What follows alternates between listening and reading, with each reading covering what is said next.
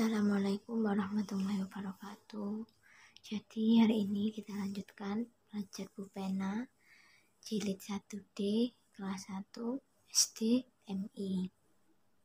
Sekarang kita lanjutkan untuk belajar bab berikutnya yaitu bentuk, warna, ukuran dan permukaan benda.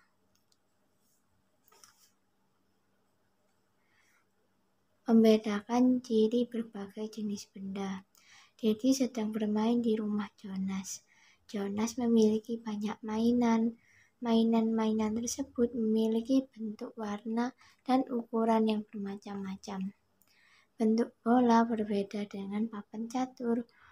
Warna baju Jonas berbeda dengan warna baju Dedi. Ukuran mobil-mobilan berbeda dengan ukuran kelereng.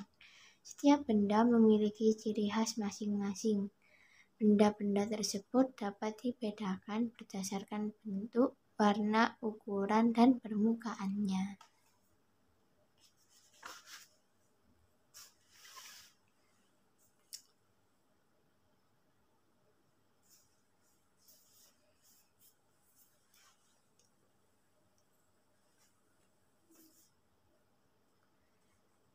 Mendiskusikan ciri-ciri benda di sekitar.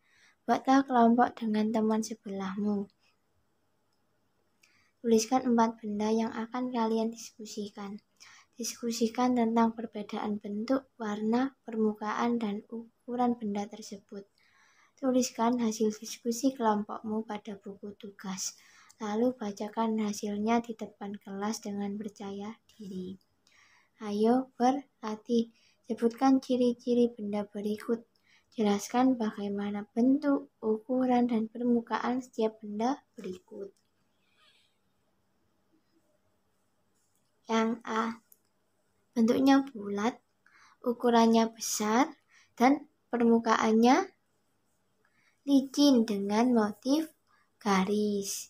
Yang kedua, bola kasti. Bentuknya bundar, ukurannya sedang, permukaannya kasar. C. Bola bekel atau lereng ini, sepertinya bola bekel. Bentuknya bulat, ukurannya kecil, dan permukaannya halus dan licin.